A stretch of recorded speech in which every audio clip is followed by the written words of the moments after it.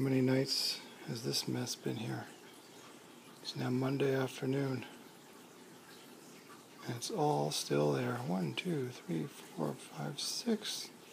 And a bowl. Isn't that special?